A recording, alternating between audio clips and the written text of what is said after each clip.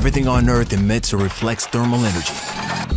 The MyFLIR app on the S62 Pro captures this energy, instantly visualizing temperatures as different colors. This can locate damp, drafts, hot spots, or heat loss, electrical shorts, or blockages. Featuring MSX for advanced detail, where a thermal image is overlaid with outline detail from the visible camera to enhance your picture. Giving what's in front of you context.